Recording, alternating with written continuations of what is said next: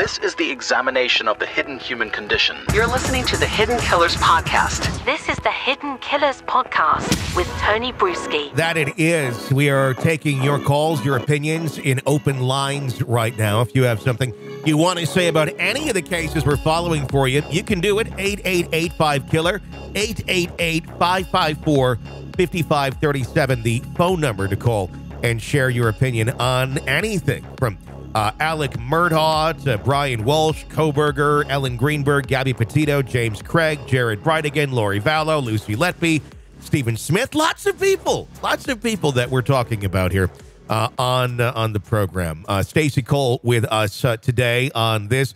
Let's uh, jump over to our first phone call, and this is someone who has an interesting theory or observation, if they will, and we're going to go back and and see if we can recognize what they're talking about after the phone call. They think there's more to the Alex Murdaugh dog video that Mm. really damned him uh, than others have uh, have been hearing. Let's take a listen. Hi. Hey, Tony, it's Lisa from Rockland County. How are you? Yeah, I got to weigh in now. People need to hear this. But first, my heart goes out to the Idaho students, their family, and everybody rocked by that case. That was just awful. Lori Daybell, please, please, you got to stop talking about her in your little mini podcast because boring, boring story. She was a prophet of nothing.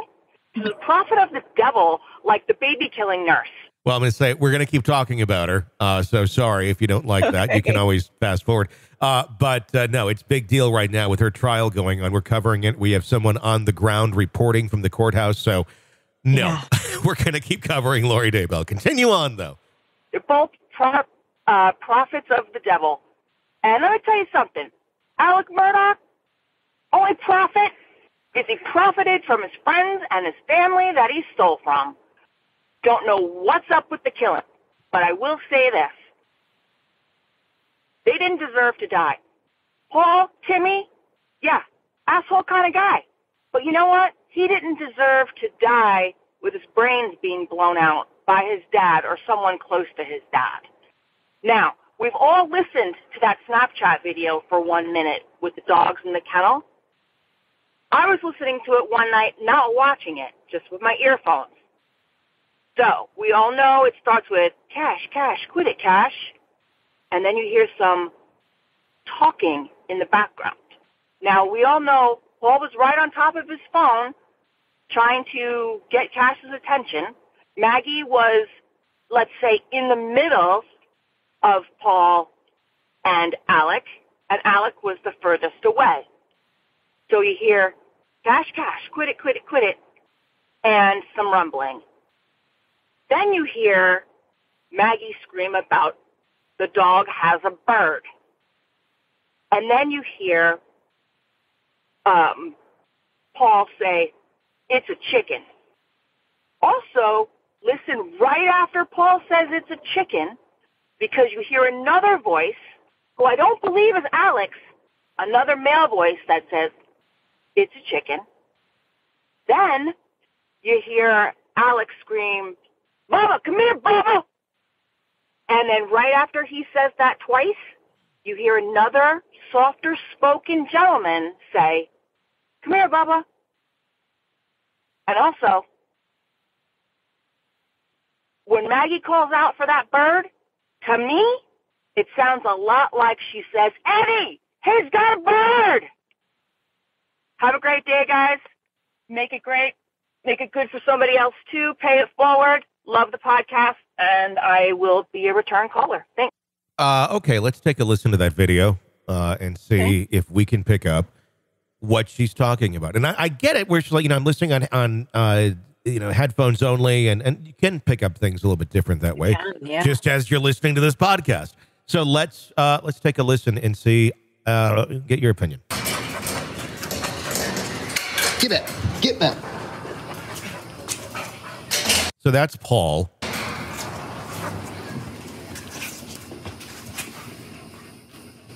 Quit, Cash. Paul again. Quit. It's okay. Paul. Come here. It's not bad. Come here, Cash. Shit. Come here. Post it. Cash. Hey, he's got a bird in his mouth. Okay, so I hear what she says. It sounds like Eddie. He's got a bird in his mouth. Yeah, that's what it sounds like. I kind of hear that. I I also hear, "Hey, he's got a bird in his mouth." I hear "Hey," not necessarily Eddie. Bird in his mouth. Go back. Hey, he's got a bird in his mouth. It's "Hey." it's hey with an accent, isn't it? Hey, Hey, he's got a bird hey, in his mouth. you know how the hey can turn into two syllables instead of one. That's what it is. Baba. That's and Baba. That's Alec. Bubba. That's Paul. It's a Maggie. It's a guinea, like a It's a guinea chicken. hen. Come here, Cash. Come here, Bubba. Cash. Quick.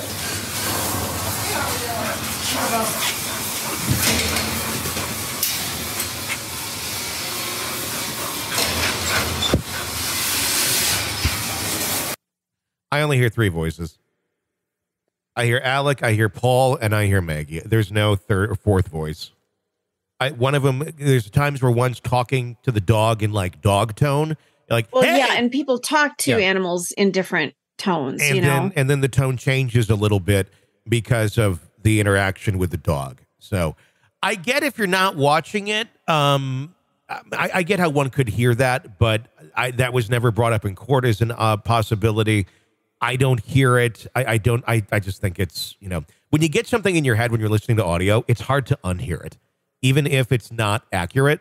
Um, Yeah. And the same is true of um, anything when you're hearing something that's kind of inaudible, whether it be uh, like in the ghost world, there's the EVPs, and one person says it says, uh, you know, uh, mother, mama loves you, and the other person's like, you know, it, it's, it's it's saying that she hates you or whatever. I mean, it, it's something where it's all. It's interesting how our brains interpret things, and once you hear it once, and your brain said this is what it is, it's really hard to hear it the other way. yeah, you can't unhear it in your head. So I don't think there's much to that theory, but you know, I, I love hearing it. I love that people weighing in because sometimes things are brought to you and you go, I didn't think of it that way. Mm-hmm. And that's how we learn. So appreciate the insight and the thoughts on that. Uh, and with any, as with anything with this case, nothing surprises me as uh, we keep digging deeper and deeper into it. And there's, I'm not trying to make a pun because that's literally what's been going on lately with Stephen Smith, be the body being exhumed uh, recently, Yeah. the second autopsy being performed. We'll find out the results of that very soon. Uh, and there's a $35,000 reward out for any information leading to uh, information on who killed Stephen Smith right now. Uh, so that's continuing to develop. Not saying it's any Murdaughs by any means, but you know, there's certainly uh, the way that this was all brought back into life with Stephen Smith was something through the, Mur- the Murdaugh trial or through the Murdaugh investigation. Whether that means a Murdaugh was involved is a whole other thing. Uh, it, it could be that there was information, digital information, or something of that nature that pointed to more information on uh, the murder of Stephen Smith, but not even necessarily an individual within that family. It could just be, you know, rumblings or knowledge or, um, you know, rumors, things. I don't know. I don't know what it is, but there was something enough to dig it back up. I think it's something we'll find out shortly. Uh, but- Absolutely. And and going back to Lori Daybell and and that whole thing, uh, like you said, that that's just that's getting going now. So Mhm. um definitely have to be talking about that one. Yeah, I mean, is she a horrible person? Um, I don't think Lori ever professed to be a prophet of anything. It was more Chad that professed to be the prophet uh, and knew certain information. She went along for the ride on a lot of it. Um, But but how involved was she with the murders? I don't know. She may have been very involved. Uh, that's those are things that we are going to find out uh, as that trial continues, and we of course have continuing coverage for you right here every single day. Courtroom audio once the trial starts. Uh, we have our, our correspondent Lauren Matthias uh, from the podcast Hidden True Crime on the ground, uh, reporting for us every single day, giving us updates uh, midway through the day when they break for lunch, and then uh, at the end of the day as well. Uh, to hear exactly what's going on in court. As of right now, jury selection still going on, uh, but that should hopefully be wrapping up soon, and we'll be getting uh, into the beef of what that trial is like. It's exciting stuff. Uh, but if you have an opinion, uh, insight, anything you want to share about any of the cases, You can do it. The phone number is 8885 Killer. That's 888 554 5537. This is an examination of the hidden human condition This is the Hidden Killers podcast. with Tony Brueski. We would love to hear from you. Subscribe wherever you download podcasts. Get an ad free version through Apple Podcasts right now. Even try it for three days free. Get access to all of our true crime channels when you sign up there. For Stacy, I'm Tony. Stay with us.